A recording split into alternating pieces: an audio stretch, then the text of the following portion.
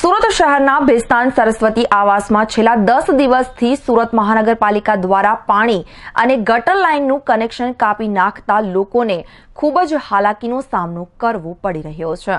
Smart city કહેવાતા સુરત શહેરમાં કેટલાક વિસ્તારો એવા છે કે જ્યાં લોકોની પ્રાથમિક સુવિધાઓ જ નથી મળતી. એવી એક ઘટના સુરત શહેરના ભેસ્તાન વિસ્તારની સામે આવી છે. ભેસ્તાનમાં સરસ્વતી આવાસમાં છેલ્લા દસ દિવસથી સુરત મહાનગરપાલિકા દ્વારા પીવાનું પાણી અને ગટર લાઇનનું કલેક્શન જ કાપી નાખતા અહીંના રહેવાસીઓને માથે હાથ મૂકી રોવાનો વારો આવ્યો છે. અહીંના સુરત મહાનગરપાલિકા દ્વારા કોઈપણ વૈકલ્પિક વ્યવસ્થા વગર જ અહીંના લોકોને ઘર ખાલી કરવા જણાવી રહ્યા છે. જે લોકોને કૂપન મળ્યા તે લોકો તો અહીંથી ખાલી કરીને જતા રહ્યા છે. પરંતુ બાકી રહેલા લોકોને હેરાન થવાનો વારો આવ્યો છે.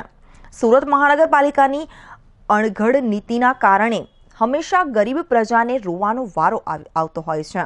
ત્યારે અહીંના લોકોની આંખોમાં રીતસર આંસુ જોવા મળી રહ્યા છે. અહીંના રહેવાસીઓ દૂર દૂરથી પાણી, બીરને લાવવા મજબૂર બન્યા છે.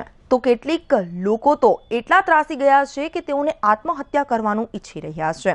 ત્યારે શું આવી ગરીબ પ્રજાનું દુઃખ સુરત મહાનગરપાલિકાની ઓફિસોમાં બેસેલા અધિકારીઓને નથી દેખાતું કે પછી કેટલાક ગરીબોની જીવ જાય તેવી રાહ જોઈ રહ્યા છે?